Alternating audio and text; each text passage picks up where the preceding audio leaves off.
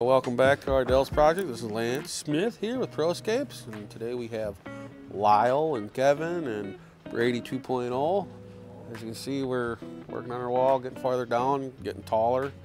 We got our pipes in there for our water lines to go through and our electrical and our basin's just about there for our waterfall rock. It's getting to the point where we're gonna need to put it in soon.